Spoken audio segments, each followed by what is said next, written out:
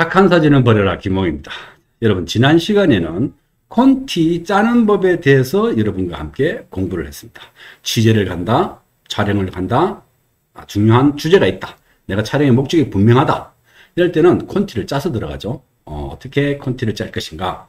예, 그 상황에 맞는 내가 촬영해야 될 피사체에 맞는 또 그 책의 목적이나 어, 그 사진의 용도에 맞는 것들을 생각해서 상상의 나래를 펴서 무조건 글로 옮겨보는 겁니다. 다양한 것들을 옮겨보고 그것을 묶음 묶음 나누어서 예, 이 책은 어, 떤 용도로 쓰인다. 아, 이 사람은 어떤 이 책에서 어떤 역할을 하고 있다. 이 사람은 어떻게 표현해야 될 것이다. 그런 것을 다 묶어서 하나의 에, 콘티를 짜내려 갑니다. 그죠? 그렇게 해서 에, 촬영한 것들을 체크해가면서 아, 이건 촬영이 잘 되었어. 체크를 해가면서 자기가 아, 10개고 20개고 이 콘티를 완성해 나간다. 이렇게 말씀을 드렸어요. 자, 그런데 콘티를 짤 수 없는 경우가 있습니다. 그죠? 또 콘티를 안 짜는 경우도 있죠. 뭐 절대 다수의 아마추어 작가들은 컨티를 짜지 않고 그냥 나가죠. 뭐 산이야 들로 들이야 다니는 그 재미 그리고 샷다를 끌을 때 샷다 소리가 착착하는 이 즐거움 이 즐거움을 뭐 어떤 것과 비교할 수 없잖아요. 네? 그러니까 그 즐거움 때문에 컨티를 짜야 한다는 생각을 아예 하지 않죠. 저도 그런 경우가 있습니다. 예, 제가 음, 쿠바를 갔었는데 쿠바에는 제가 특별히 취재를 간 것도 아니고 쿠바에서 어떤 책이나 잡지에 실을 사진을 어, 준비하러 간 것도 아니고 그저 쿠바에 가보고 싶어서 놀러 가고 싶어서 쿠바를 한 보름 동안 다녀온 적이 있습니다. 그때는 아무런 콘티를 짤 수가 없죠. 내가 쿠바에 가서 뭘 볼지 모르잖아요. 내가 쿠바에 무엇을 찍겠다 이렇게 생각하지 않았고 그냥만 놀러 간 거기 때문에 이럴 경우에 어떻게 하느냐. 이런 경우가 절대 다수의 아마추어와 비슷한 상황이라 생각됩니다. 이제 콘티가 콘티를 짜고 촬영을 하는 경우가 있고 콘티를 짜지 않고 촬영하는 경우가 있습니다. 그렇죠? 이 두 가지가 항상 양립해요. 어, 저도 콘티를 짜고 촬영하는 경우에 또 경우도 있지만 콘티를 짜지 않고 촬영하는 경우도 저도 물론 많습니다. 자, 쿠바에 간 상황은 어떻게 할 것이냐? 가기 전에 쿠바 음악이나 쿠바에 관련 책이나 이런 걸 많이 듣고 읽습니다. 그럼 쿠바의 전체적인 어렴풋한 윤곽이 생기겠죠. 어렴풋한 윤곽이.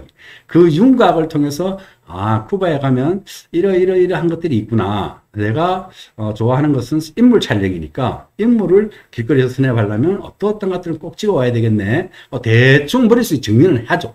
그래서 쿠바를 알아가요. 그럴 때 현장에서 촬영할 때 어떻게 촬영하느냐 여러분 제가 조금 전에 말씀드렸죠. 쿠바에 가기 전에 쿠바 음악과 쿠바 영화 어, 또 쿠바 음식 뭐 이런 게 관계되는 많은 것을 제가 접했지 않습니까? 책을 통해서 영상을 통해서. 그럼 그걸 통해서 쿠바에 내리면 몸이 이미 쿠바에 꽉 젖어 있는 거예요. 촉촉하게. 제가 지금 쿠바 사람처럼 이렇게 쿠바의 문화에 젖어 있는 거예요. 그 상태에서 거의 동물적으로 슈팅을 합니다. 동물적이라는 게 되게 중요해요. 이때는 제가 어떤 특별한 목적이나 어, 특별한 주제가 없기 때문에 눈에 보이는 대로 슈팅하는 거예요. 아, 좋다. 하면 슈팅. 좋다. 그러면 촬영을 계속 이어나갑니다. 그러면 막대한 양의 사진이 찍혀요. 이게 되게 중요한 거예요, 여러분. 막대한 양의 사진이 찍힌다? 이게 중요한 거예요. 이때는 양을 찍어 오지 않으면 어떻게 분류해 볼 도리가 없어요. 그래서 막대한 양을 찍어서 한국에 돌아와서 그 원고를 정리를 하게 되죠. 근데 제일 중요한 것은 무지막지한 양을 찍어 내게 된다.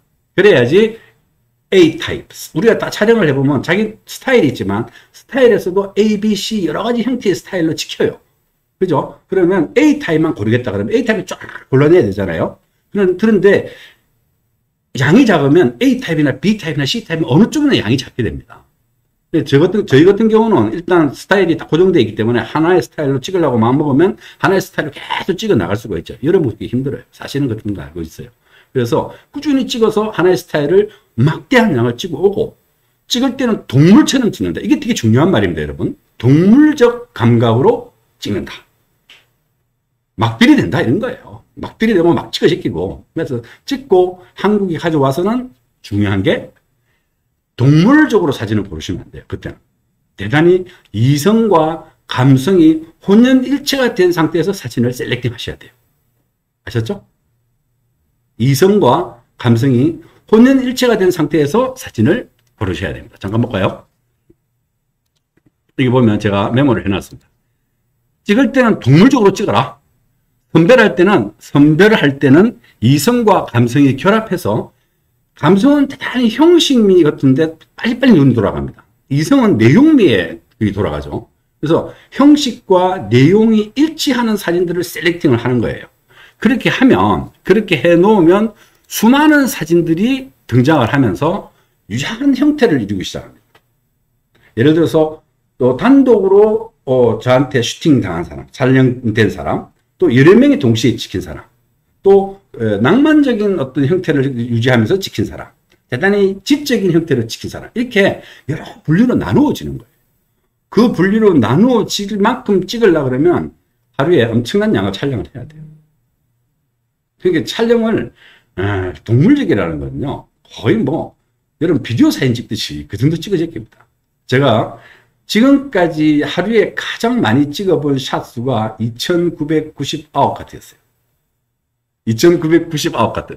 여러분 하루 나가면 몇 카트 찍습니까? 한 몇백 카트 찍으면 끝이죠? 저는 하루 종일 2990, 한 카트만 찍으면 3000 카트인 거예요. 그거는 옛날에 네이버에서 어, 세계의 축제하는 책을 예, 편집을 하면서 내면서 거기에 제가 어, 라오스, 태국에 있는 송코, 어, 송크랑 물축제에 간 적이 있어요. 그때 예, 찍었던 것이 하루에 3,000카트. 예, 그때는 뭐 완전 몰입 상태이기 때문에 피곤하지도 않아요. 촬영이 끝나면 탈진하죠. 촬영이 끝나면. 그렇게 해서 찍은 게 있습니다. 여러분, 보셨죠? 동물적으로 찍는다. 이성과 감성으로 셀렉팅한다. 그쵸? 그렇게 되면 어떤 그림이 나오느냐 제가 보여드리도록 하겠습니다. 이렇게 수많은 사인들이 등장을 하게 되죠. 우선 한번 볼까요? 길거리에서 슈팅한 거예요. 길거리에서 음악하는 아저씨. 이 주위에는 여러 아저씨들이 계셨어요. 근데 저는 이 아저씨만 크로즈였어요. 여기는 이제 저희가 밥 먹으러 갔던 식당에 일하는 아가씨. 아주 어, 다정한 표정을 하고 있는 아가씨였어요.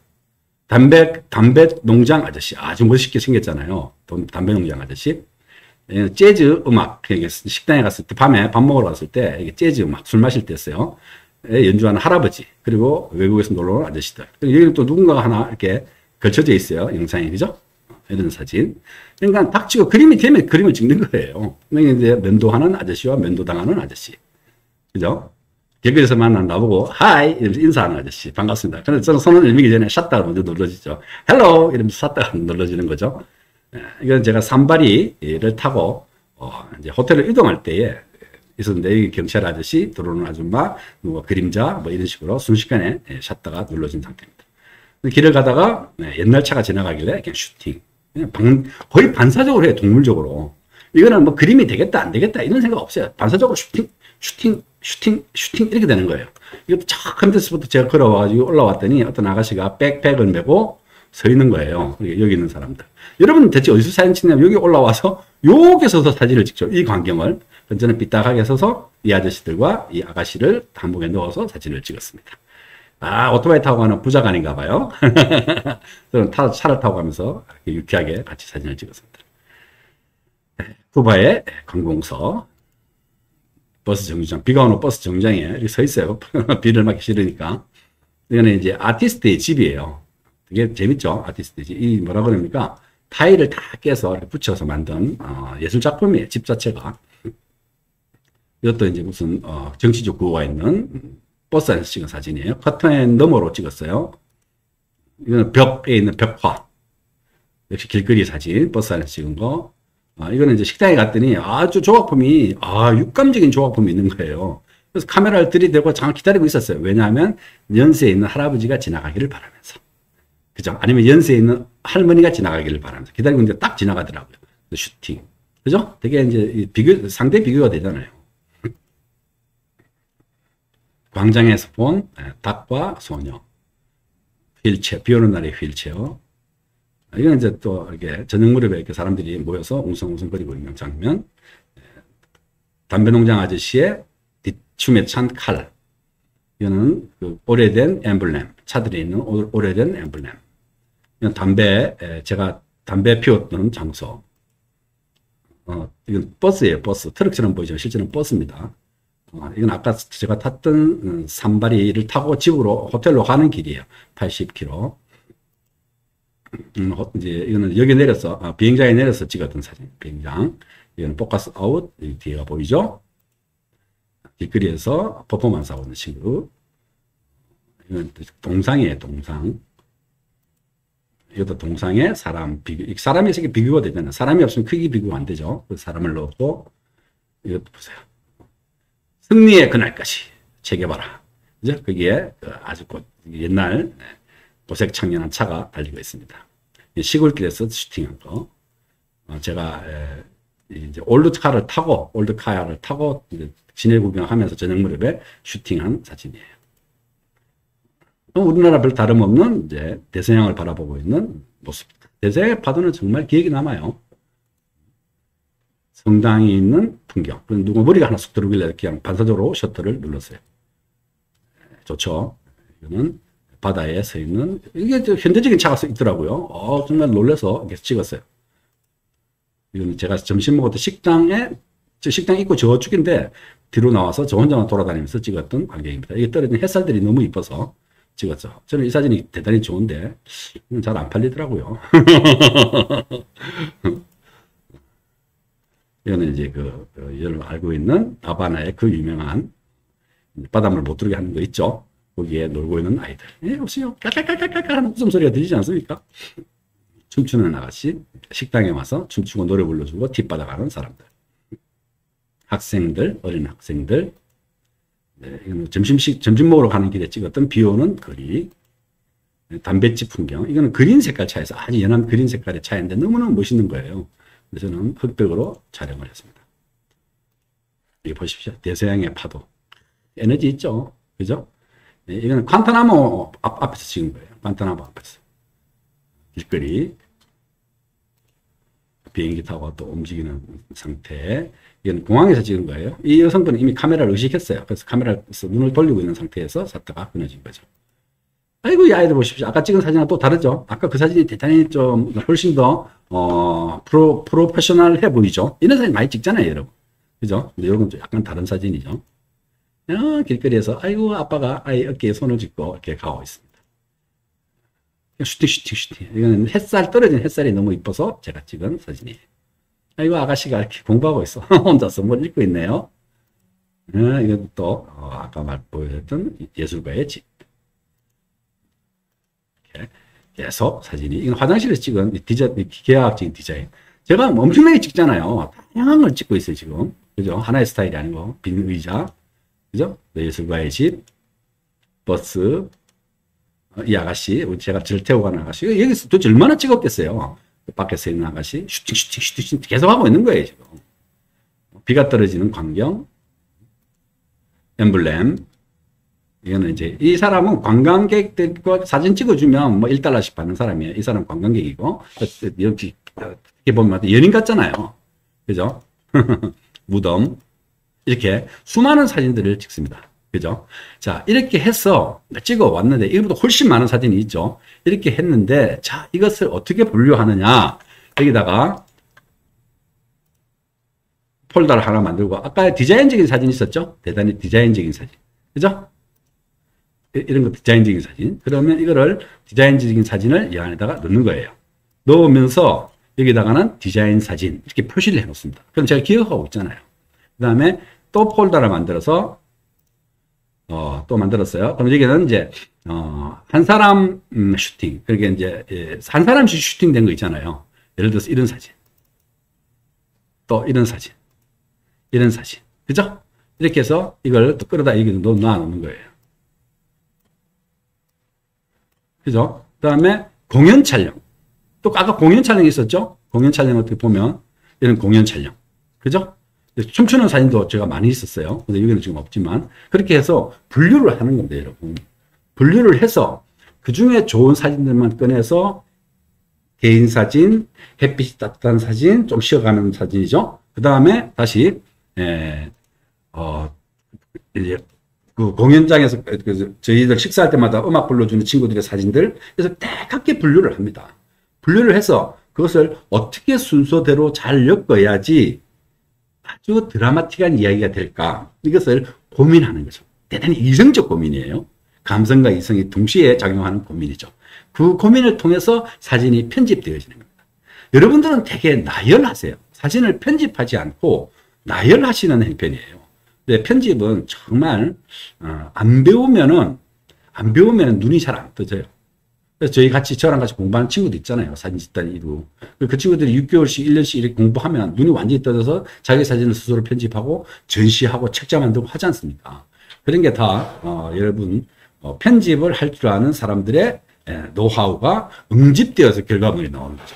좋은 사진을 찍을 수 있는 사람은 많아요. 제가 보니까 좋은 사진 찍는 사람들은 대단히 많은데 비교적 좋은 사진을 못 찍고 아 좋은 사진을 찍은데도 불구하고 편집을 제대로 못해서 죽도 밥도 아닌 사진전을 하거나 책을 내시는 분이 많아요. 그건 나열이거든요. 찌라시, 찌라시 모음. 그때 안타까운 거예요. 하나의 주제로 관통시켜서 그것을 완벽한 책으로 만들어낸다. 이게 대단히 중요한 일입니다. 오늘 여러분 보셨죠? 동물처럼 찍어라. 막대한 양을 찍어라. 엄청난 양을 찍어라. 그 다음에 이성과 감성을 동시에 출연시켜서 이성과 감성을 동시에 자극하는 사진들을 셀렉팅을 해라. 그것을 분류해라. 분류하고 난 뒤에 편집은 정말 귀중한 노하우여서 다음에 기회 있으면 말씀드리고 아니면 여러분들이 아, 정말 궁금하시면 또 저희와 함께 공부하신 또 오시든지 아니면 제가 시, 간이 되면 또 편집하는 부분에 대해서 한번 말씀을 나눠보도록 하겠습니다. 그리고 오늘이 1월 9일입니까? 오늘 1월 9일이고 내일이 10일입니다. 내일 10일이 되면 오늘 밤 자정부터인가 아마 여러분 저희가 그 같이 공부했던 자치 전시했던 500인 500작전 크리스마스 선물전 했잖아요. 그것을 오늘 밤 자정부터 아마 어, 천인전 크리스마스 천인 크리스마스 선물전 네, 음, 예, 신청서 신청을 받습니다. 여러분 아시죠? 올해는 인사아트센터의 1층과 지하 1층 그래서 천명이 동시에 모여서 하는 전시를 진행할 텐데 여러분 아, 신청해 주시면 천명이 모여서 전시하는 그 대단한 정말 가슴 벅찬 감동을 함께 할 수 있습니다. 잊지 마시고 신청해 주시기 바랍니다. 착한 사진은 보여라. 좋아요, 구독, 그리고 어, 보시고 배운 점, 또 궁금한 점, 나는 이것 좀 알고 싶어요 하는 거 댓글 달아주시면 제가 또 열심히 해서 여러분들에게 예, 전달해 드리도록 하겠습니다. 감사합니다. 오늘 하루 좋은 하루 되십시오.